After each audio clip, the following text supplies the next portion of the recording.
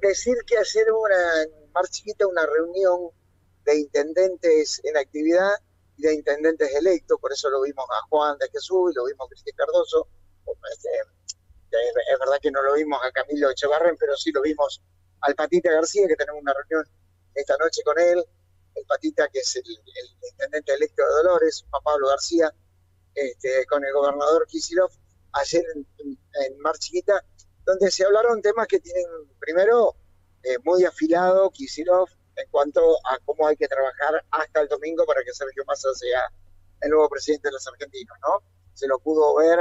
eh, en un mano a mano casi con cada uno de los intendentes electos y los intendentes actuales, casi en un mano a mano, haciendo un instructivo político de cómo trabajar, eh,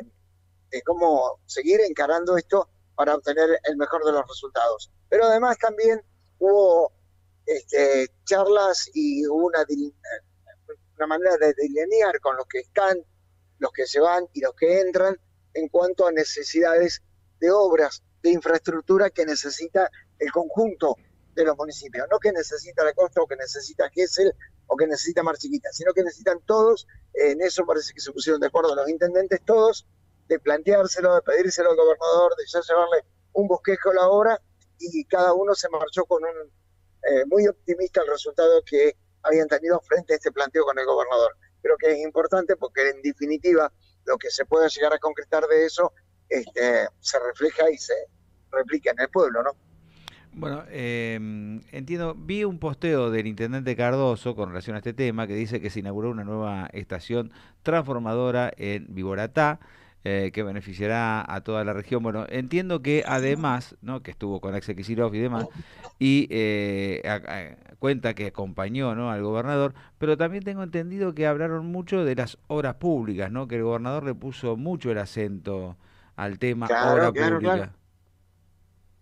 Sí, sí, sí, sí, le puso mucho el acento a la obra pública y cada uno llevó, incluso yo sé que Cardoso también llevó este, proyectos o ideas de, cuestiones. Hay algo para tener en cuenta porque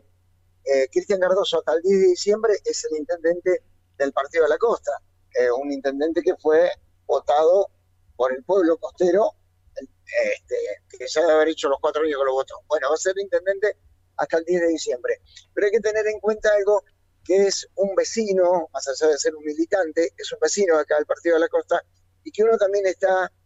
este, desde la mirada del, Partido de la Costa hacia arriba, hacia la nación o hacia la provincia, donde nuestros eh, representantes en el ámbito político pueden llegar a ir. Se lo ve